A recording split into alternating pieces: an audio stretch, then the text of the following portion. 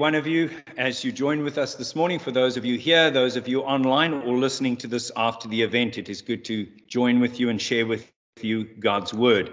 This morning, I talk to you about a subject I've entitled Tis the Season, and we hear a lot about this.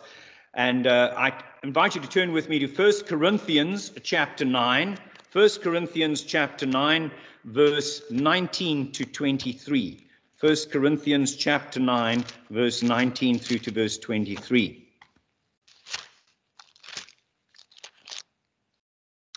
The Apostle Paul writing here to the church in Corinth, and uh, it's interesting because in verse 3, chapter 3, I beg your pardon, he actually is chastising them and he said, And I, brethren, could not speak to you as unto spiritual, but as unto carnal. That word carnal means fleshly, worldly, even as unto babes in Christ.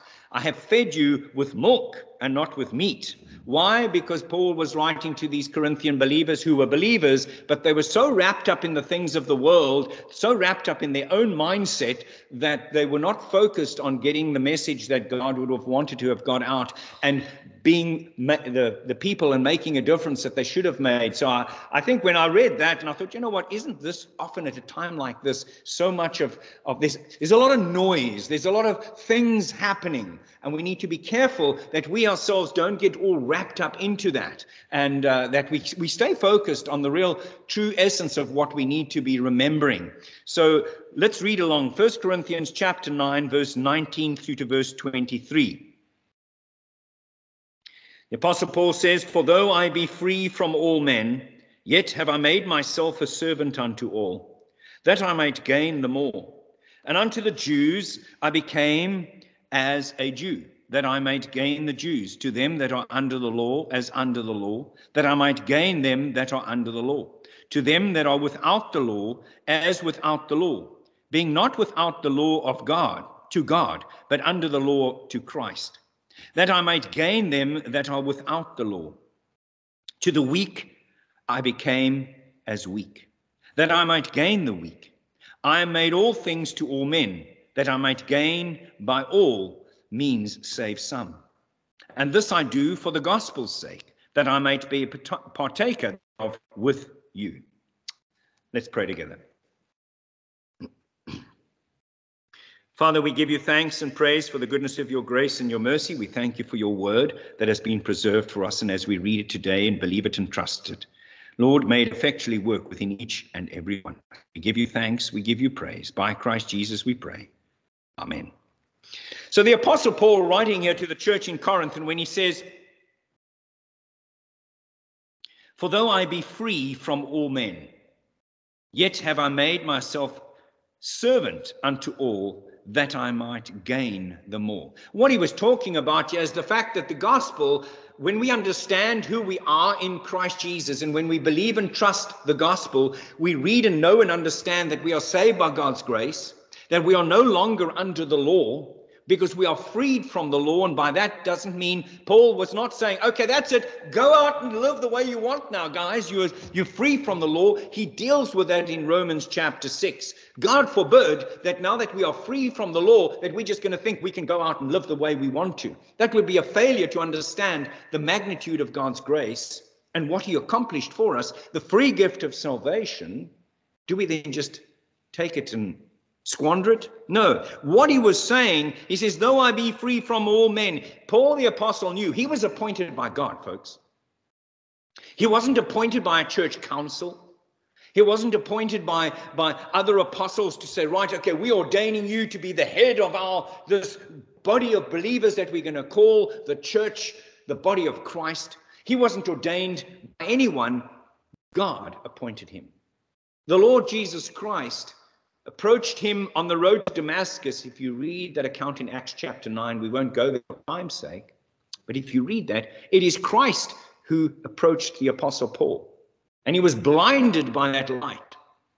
And Christ who gives him this message that he now needs to go out. And he writes into the when he writes to the Galatians, he makes it very clear that he was not appointed by man.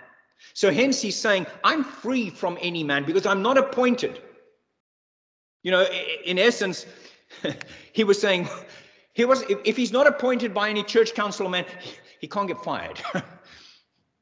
He was there to do what he needed to do. And he says, although, for though I be free from all men, he didn't walk around with a puffed up mindset and worship me. You know what he came with? A servant's heart. Very important. And what we see so often in church circles and religious settings today is what?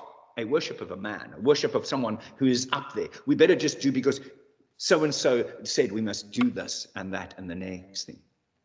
I'm so mindful of the scripture where Paul the Apostle says that he didn't want to have dominion over the faith of the believers. He wanted to be a helper of their joy. I do not wish to have dominion over your faith. I do not wish to say, this is what you have to believe, and if you don't believe it, well, then I'm sorry, but you're going to hell. I cannot do that. I know and understand through the scriptures that I'm here to be a helper of your joy. And the only way I can do that is to point you to Scripture and allow Scripture to work in and through you. Because, folks, I'm still. I'm, I'm forever learning and going through. There are, there are things I, I know and I understand and I stand firm upon them. But as we read and study through Scripture, there's greater understanding that we get. And for me to come and then to say, well, you know, I want to have this rulership or over you would be a failure on my part to have understood Scripture. So when Paul says, For though I be free from all men, yet have I made myself, see that? I made myself a servant unto all. What is the opposite of that? Could make himself a ruler. To have dominion over these folks. Why did he do that? That I might gain the more. Come with me to the book of Ecclesiastes. The book of Ecclesiastes comes after the book of Proverbs, which comes after the book of Psalms, Proverbs, and then the book of Ecclesiastes. Ecclesiastes chapter 7. By the way, Ecclesiastes is written by Solomon. Ecclesiastes chapter 7 and verse 19. Wisdom strengtheneth the wise more than ten mighty men which are in the city. For there is not a just man upon the earth that doeth good and sinneth not. You see that? No matter how good we think we could be, we, no matter how much understanding of Scripture we have, True wisdom comes through that understanding of God's word and a recognition that we, in our own human right, have failed God. You can write next to that verse, Romans 3:23. Well, let's let's just understand that when we look at this and we know this, we have no right to lord ourselves above anybody else.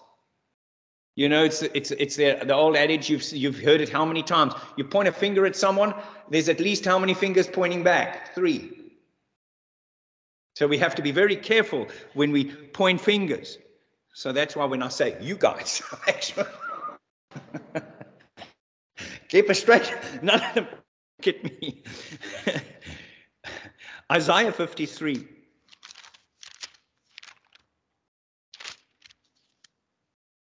And verse 6. You want a definition of, of, of sin? Here's a good verse for you. Isaiah 53, talking specifically now, Isaiah writing, the prophet writing specifically talking about the nation of Israel, but very pertinent for us. Isaiah 53, verse 6 All we like sheep have gone astray.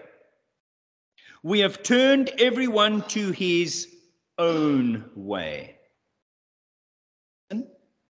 That song, I did it my way. We should do it God's way.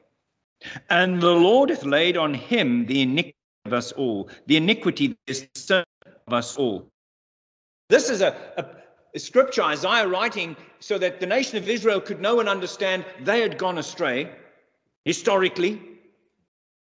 And prophetically talking about the fact that there was going to come a time that the Lord Jesus Christ would, the iniquity and it says, And the Lord hath laid on him the iniquity of us all. This is written 700 years before the Lord Jesus Christ. So think about this for a moment. 700 years before the Lord Jesus Christ comes to earth, And since Christ has been on earth, it's been 2,000 years. So for the last 2,700 years, this scripture has been as, as right as it was then, it, it is now. Have we not all, like sheep, gone astray?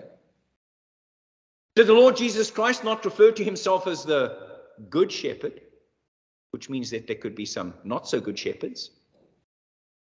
Because Israel had shepherds that God had appointed, and they were not so good, led astray.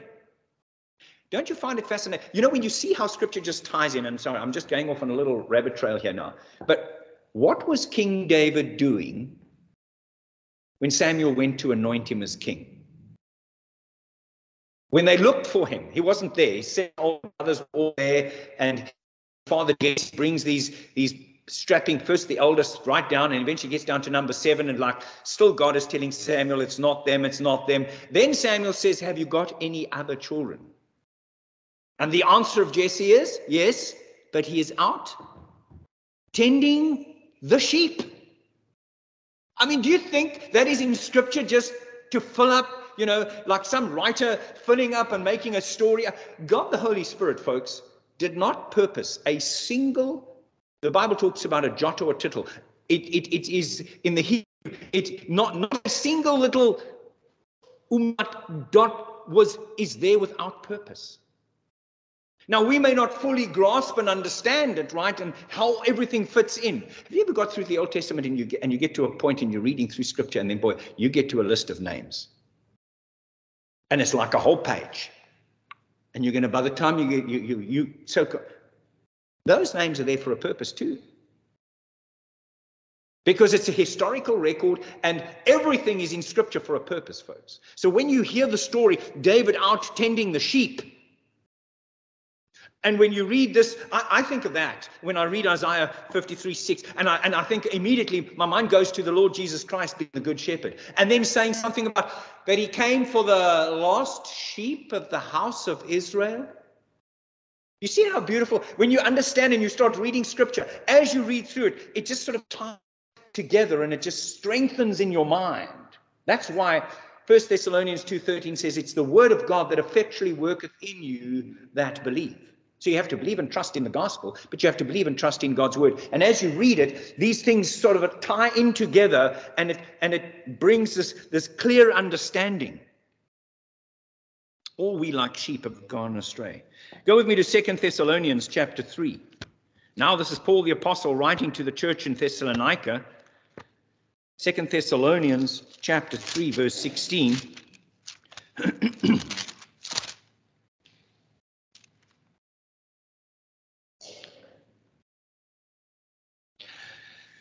Second Thessalonians 3, verse 16. Now the Lord of peace himself give you peace always by all means. The Lord be with you all. I think about that. Do you know that since the Lord Jesus Christ came to earth and the scriptures declare peace on earth, goodwill to all men, that there has not been a single day that a war has been fought, not been fought somewhere in the world that I can see. If you research, research it. And you think to yourself, hang on a minute. This time, tis the season to be jolly, tis the season for all things to be well. Hello. And the day after, and the new year cometh. Oh, how many times have we not stood and wished each other a happy new year? Anybody have a year that something hasn't gone wrong? How, how can we as believers then truly say we have peace through this verse and this? We can have peace in the chaos. We can have peace in the brokenness of this world because we have the God of peace living within us. You follow that? So, what Satan's plan is is for you to find happiness and joy in the physicality of life and the good things that are happening. Because if that is your your aim to find joy and peace. All he needs to do is give it to you for a short while and then gone. And then, what do we have to hold on to? What do we have to hope? Now, please, I'm not. Don't go and be like folks who are out there and everyone's happy. So, I'm going to just be solemn and straight because I'm not going to get involved in any of the joy and the happiness that is here. I mean, I went to do a talk at the school. I was rolling on, I was getting on the floor. Okay, I needed help to get up afterwards, but nonetheless, yeah, be happy. I mean, I can see you guys. You guys are all happy, right? just tell your faces so that I can see that you.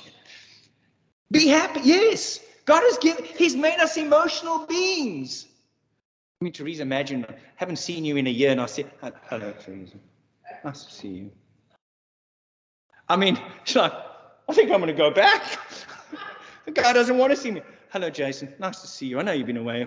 I mean, be happy. Show happiness. Show joy. You know, God's word tells us we, we, we rejoice with those. So I'm not talking about don't be happy, folks. I'm just what I'm trying to bring across, what I'm the essence of my message to you this morning is just the season to be jolly, but it's also just the season for us to be mindful to have everlasting peace, we need to know the reason. We need to know and we need to understand what this is all about. And if we know that, then circumstances will not dictate and we will not be up and down all the time. Yes, we will have our emotions. Yes, we will have our challenges, but we will also have a reason, a reason to be joyous. You see, rejoicing is not true rejoicing is not based on circumstances. It's it's in the circumstance that we can rejoice. Romans chapter 3, what did we tell you Rome, earlier? Romans 3:23, all have sinned, right? Let's just I know you know this verse, but let's read it together.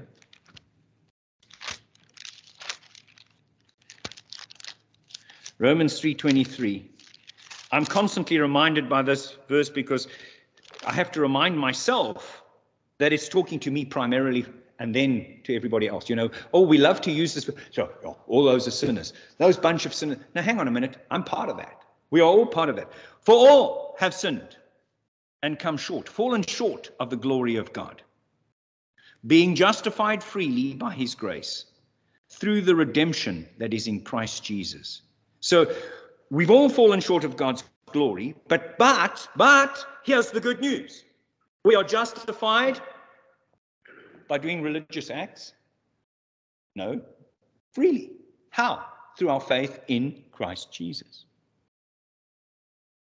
We have justified freely by his grace through the redemption that is in Christ Jesus. Just go with me to the book of Deuteronomy. Deuteronomy Genesis, Exodus, Leviticus, Numbers, Deuteronomy. The fifth book in the Old Testament. Deuteronomy, second giving of the law. Just if we want to put ourselves fully under the power of the law, just let me read to you and understand what Moses was telling the nation of Israel, who to whom God gave the law, so that well, let me just read it to you. Now, therefore, uh, Deuteronomy, did I tell you to go to chapter 4? 4, verse 1. Now, therefore, hearken, O Israel, unto the statutes, the statutes says decrees, and unto the judgments which I teach you for to do them, that ye may live and go in and possess the land which the Lord God of your fathers giveth you. By the way, that land is the land that everyone's fighting about right now in the Middle East. Ye shall not add unto the word which I command you, neither shall ye diminish aught from it, that ye may keep the commandments of the Lord your God, which I command you. Your eyes have seen what the Lord did because of Baalpeor. For all the men that followed Baalpeor, that's Baal worship, the Lord thy God hath destroyed them from among you. But ye that did cleave unto the Lord your God are alive, every one of you this day. Behold, I have taught you statutes and judgments, even as the Lord my God commanded me, that ye should do so in the land whither you go to possess it. Keep therefore and do them, for this is your wisdom and your understanding in the sight of the nations. So let me just stop there before I read on. So God gives the nation of Israel, he calls out Abram, names renames him to Abraham, becomes the father of, of, of this nation. He brings them out, he makes them separate, he gives them the law through Moses to keep them a separate nation so that they can be. God is going to show the lost Gentile world now how, if there is a nation that follows after his word, this is how you are to live. So he gives this instruction to them and he says, Keep therefore, verse 6 again, and do them, for this is your wisdom. Notice that? Not religious wisdom, not man's wisdom, God's wisdom. And your understanding in the sight of nations, which shall hear all these statutes, and sh- say, so if they were going to go out and they were going to hold on to God's word and they were going to do everything that God had commanded, what is the world going to say? Surely this great nation is a wise and understanding people.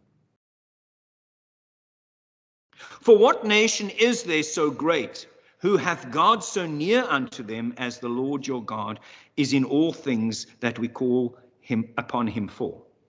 And what nation is there so great that hath statutes and judgments so righteous as all this law which I set before you this day?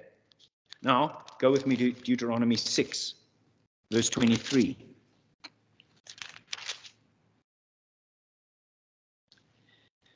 And he brought us out from thence, that he might bring us in to give us the land which he sware unto our fathers. And the Lord commanded us to do all these statutes, to fear the Lord. that word fear means reverence the Lord our God for our good always, that he might preserve us alive as it is this day. Now, read verse 25 very carefully. And it shall be our righteousness if Underline that word if. It was conditional. If we observe to do all these commandments before the Lord our God as he hath commanded us. Now, let me ask you a question. When the Lord Jesus Christ came to earth 2,000 years ago, did he find that? No. What did he find? He found the nation of Israel who should have been leading the lost world to God. He found them in apostasy. He found them in religious bigotry. He found the religious leaders as bad shepherds. That's why he says, I'm the good shepherd. Very religious, doing a whole bunch of things. And by the way, these religious leaders had thought of a whole lot of other laws and statutes to add. A lot of things that are in the tradition that was not from God. You see, man, religion, religion, folks, Somebody said to me the other day, I'm not religious. I said, neither am I. And they're like, what? You see, because if you understand what religion is, it's man's attempt to find God. It's man's attempt to do things to make himself right before God. So I'm not calling you to be religious today. I'm calling you to be believers in God's word. And that's why the Apostle Paul was talking about, I am all things to all men because he was a religious Jew. And what did he need to? He needed to recognize and understand no longer was his religiousness going to be able to give him any stature, but when he was talking to a Jew, he would know and understand the mindset of the Jew, and he would say, you know what? I'm not going to argue all the points with this guy now. And here's my point.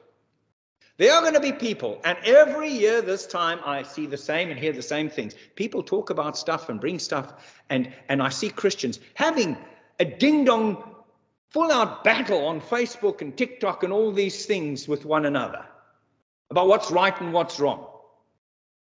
Now, this is my, I'm going to just, this is, this is not, I'm not, I'm not telling you what you must do. I'm just saying sometimes, folks, you don't have to get into that big battle. Because Satan would like nothing more than for us to be arguing about stuff and not just getting the gospel message out. You follow that? So it's a kind of thing of being understanding. Knowing and, and understanding that, you know, when we when we know what God's word teaches, we also know that Paul the apostle says that the servant of the Lord must not strive, but be gentle, apt to teach, patient, in meekness instructing those that oppose themselves. Imagine for a moment that I was a pilot, I'm not. We do have a pilot here, at least one in our presence. And I was sitting on the plane and I said to you, Jason, by the way, let me fly the plane. I think I know how to do the job better than you. All right. And I started arguing. At the end of the day, you're going to know and understand. I'm, I'm presenting an argument that I actually think I know stuff about, but I don't know. But at the same time, if we are 5,000 feet up in the air, is it wise for this man now to start having a fat old argument with me? No. You say, sit down, I'll let you, we'll talk about it when I land the plane. Do you understand? Sometimes we have to be careful. Now we can get around a family table at Christmas time, and somebody will start talking about stuff that is not scripturally correct. And then our fleshly desire, you know, when you when you get that feeling in the pit of your stomach and you're like, now I'm gonna let them have it. In front of everybody here now. I'm gonna give them this this grace teaching right now, and I'm gonna give them this free gift of knowledge right now. And as you start this argument, by the time you get into the third sentence, the meal you've already had is starting to churn within your stomach, and now you have indigestion. Do you understand what I'm trying to say? I don't know if you've ever found that. I'm just saying, be wise. Be wise. Know and understand that there are people that do not know and understand what they are saying. Pick your battles.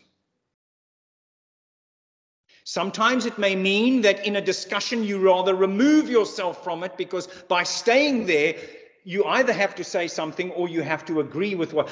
The worst part is that, so do you agree with what I'm saying? No. But you are free to believe what you wish.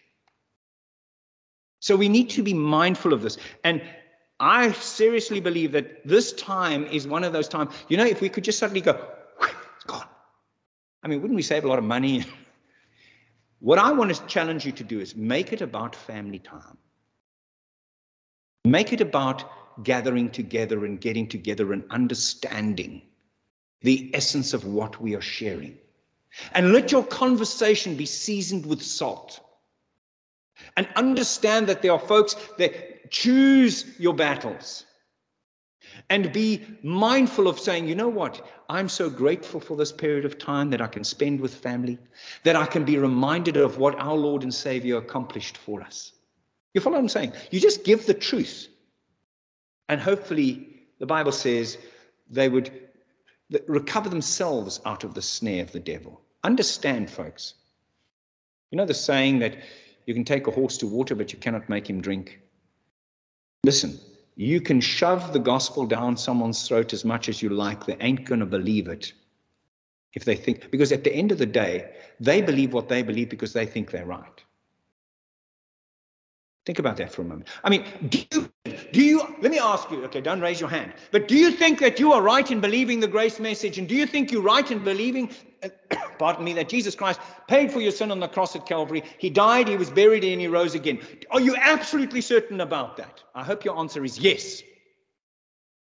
So you believe that and you know that. Now you're going to get somebody who doesn't believe or believes something different. And we have to be careful that at this period of time, it is one of those times that we, I find many Christians let, let, let, let the whole festivity suck them in into, into something that we actually just get into things that are that we shouldn't be. And we need to be mindful of that You know what the wonderful thing is? The book of Romans tells, tells us that nothing we face in this life can separate us from God's love. So don't go out and be worried about it but recognize and understand and know what you believe. Now, the nation of Israel, if we read the book of Deuteronomy, they did not hold on to this, they did not heed this, and that is why the Lord Jesus Christ found the nation of Israel in apostasy when he came 2,000 years ago. And guess what, folks? We have Christian circles, Christianity that is in absolute and utter chaos. That's the reality. I mean, you, you can attend 20 different churches and get 20 different messages. You know why? Because people have gone after church tradition, church teaching, following a man, following a woman, instead of following scripture. I have no problem with a person disagreeing with me if they are using scripture to make their argument. Because if we are all genuinely, truly seeking together, the Apostle Paul says we reason together. And sometimes we need to be mindful of that. When the Apostle Paul says, And unto the Jews I became as a Jew, that I might gain the Jews to them that are under the law, as under the law, that I might gain them that are under the law. You know, and then I see the arguments, and, and, and then one of the popular ones is going around saying, We don't understand why you what, what Christmas is all about. Don't you know that Jesus wasn't born on the 25th of December? Yes, I do. The truth is, he was born round about last week of September, first week October, somewhere around there. We know and we understand that. However, if that is when he was born, and the normal period that a woman would carry a child is, ladies, nine months. Feels like 10 years, but nine months. Right? When was he conceived? The 25th of December. Right there. So think about this. If you understand that the Lord Jesus Christ's birth, when his mother gave birth to him, it was in all aspects normal. She went through labor pains. She, they didn't have a place. I mean, he was born in a, a stable. We understand that. So it was certainly not, you know, oh, let's just phone up the latest hospital, go there and, you know, give you an epidural and no problem, and you're not going to feel the pain and all that. It was hectic. Thankful I'm a man. It was hectic but it was normal. You follow what I'm saying?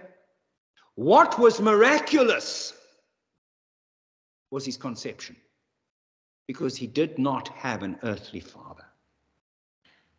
Now, just bear with me here. Think through me on this. So, if if we are talking in the spiritual realm, a miraculous event that takes place, where God the Holy Spirit causes Mary to be pregnant in a miraculous way. There's some other notions and things, you know, it was miraculous. No human intervention. She was a virgin. Let's just put it to you that way. Until the birth of her firstborn, the Lord Jesus Christ. She did not stay virgin because she had other children, by the way.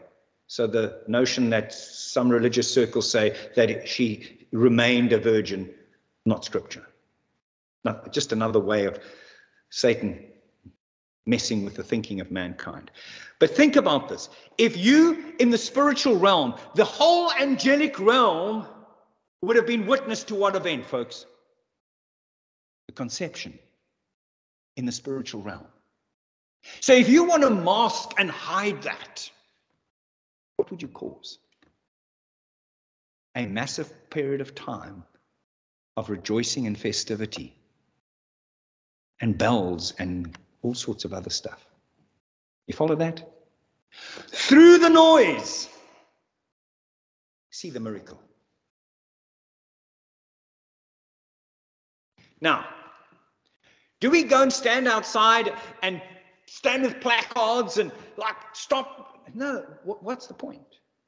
We, through wisdom, use this opportunity to bring the pure message.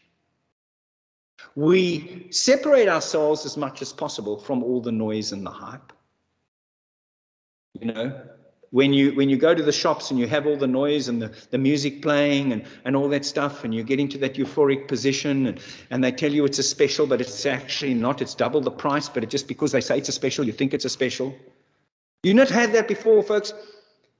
You go to the shops and say special and then i look and then look at the other brand and i'm like calculating i'm like well that's still cheaper than that. How does that work? You ever done that. Do yourself a favor. Go buy Here's a simple example dishwashing machine tablets. You know those little tablets? You don't use them. Right? And you go.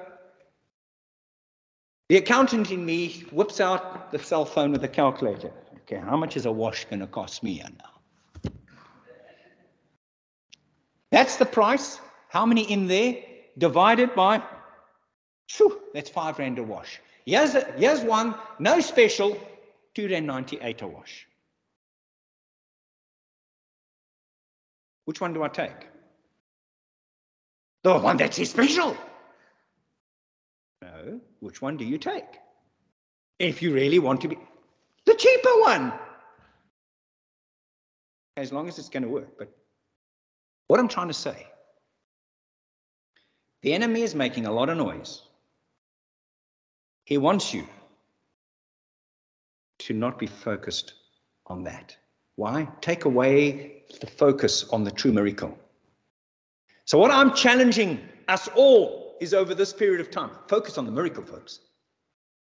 Understand the miracle. Understand the power of God working, coming into humanity. And yes, just the season of rejoicing and of knowing that there is a God who loves you beyond measure, who looked into the future and knew and understood you would be born and you would need a Savior, and was willing to die on the cross, to sweat drops of blood for you and for me. But let's rather just make it about all of the hype. You know why? Because when it's over, we can all go back to our own lives, depressive lives again. That's what the enemy wants. Folks, do you know that in America, some America is one of those countries you have, you know, you have 51 states, you have, you have, you have so much diversity. So when you do a, a sort of a study, you, you get a cross section of various cultures and so forth and so forth. Do you know and understand that this current generation is three times more depressed than the previous generation?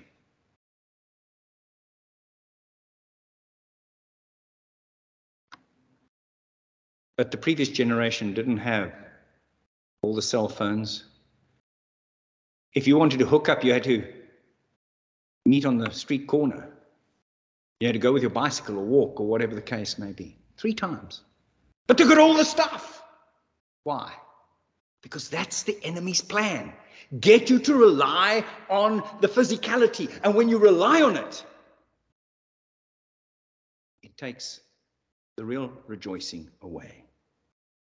And Paul says to them that are without the law, being not without the law of God. You see that? He says to them, and so he went to the Gentiles who didn't have the law because they were not part of the nation of Israel. But he says, I became like them without the law, but not without the law of God. In other words, the guy did not go out now and say, oh, well, you know what? I'm going to join this gang here now so that I can minister to them.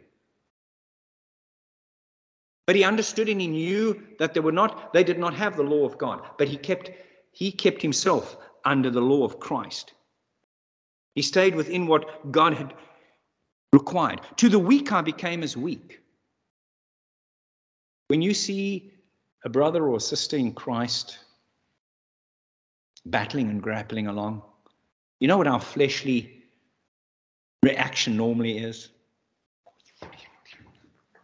Did you see?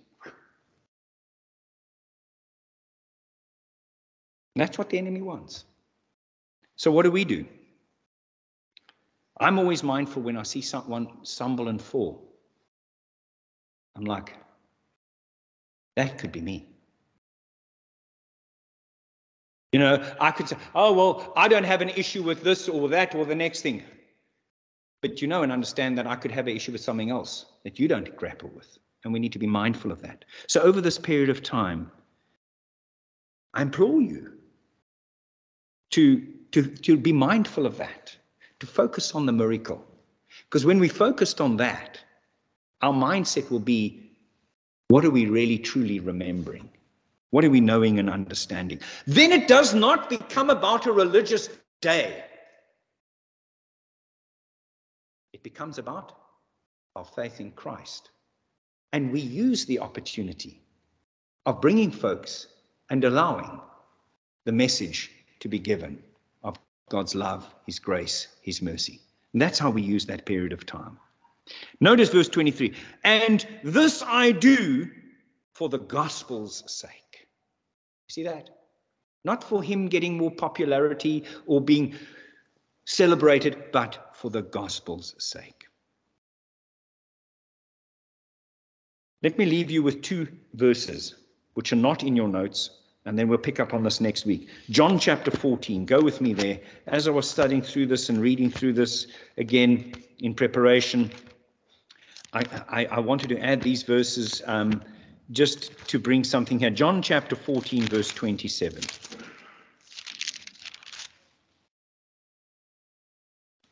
The Lord Jesus Christ talking and he says, Peace I leave with you.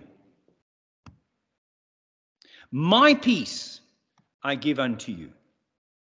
Not as the world giveth, give I unto you. Let not your heart be troubled, neither let it be afraid. You know what I think when I read that verse? The Lord Jesus Christ in the Garden of Gethsemane. And him in his humanity sweating drops of blood because of the anxiety that he faced in his humanity, knowing what, the pain, the anguish, and the suffering he was going to go through. And yet, he was able to say, Yet not my will, but thy will. How? It's that. It's his peace. It's the peace that he could have, which Jesus says you can have. You follow that? That same peace that Christ could have in that moment of absolute despair and desperation, you and I can have when we trust in what Christ has done for us. John 16, verse 33, last verse.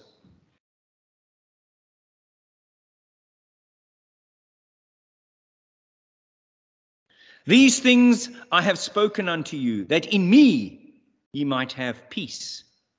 In the world ye shall have tribulation. But be of good cheer, I have overcome the world. Now going to say to me, yes, but hang on. We don't always have things going wrong in the world. But folks, without Christ, even when things are going right, they're going wrong. because people may have all of the things in this world, but if they have not the peace of Christ, if they do not have the Holy Spirit living within them because of their faith in the Lord Jesus Christ, we actually have nothing. We actually have absolutely nothing. The richest person in this world only has that temporarily. And let me tell you, even the rich have issues. it has been said a man with six children is more content than a man with six million rand in the bank. The reason is the man with six children doesn't want any more.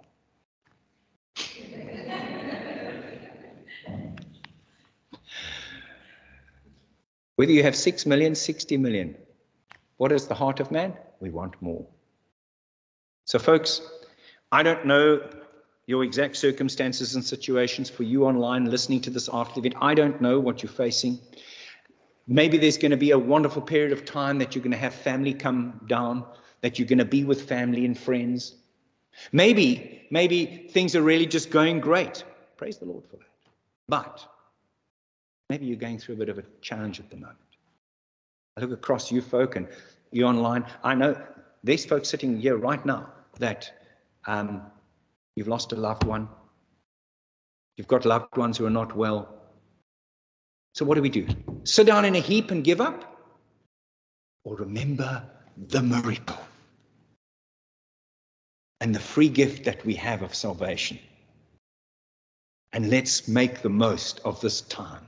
Family, friends are precious. They are here but for a moment.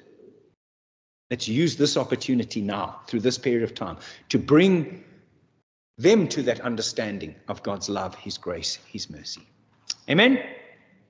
We'll pick up on this next week and, and, and I'll share a little bit more with you as we go through. Father God, we give you thanks. We give you praise for the goodness of your grace, of your mercy. We thank you that we could gather today to read and believe and trust your word. My prayer would be, Lord, that as we do so, that you will work effectually within us through the Holy Spirit that lives within us, that we will treasure family and friends, that we will know and understand the true miracle that the enemy would want us to not focus on. Help us through this period of joy and this, as many would want this the season to be jolly, but help us to bring the truth in a loving, kind, caring way, being all things to all people, that we may win them for the gospel's sake. Thank you that we have the gift of eternal life through our Lord Jesus Christ living within us. And Lord, as we go through this period of time, help us to be mindful of those around us and to reach out and to show the love, the kindness, the care, the compassion that you would want us to have and show as your word works in and through us. We give you thanks, we give you praise. By Christ Jesus we pray. Amen.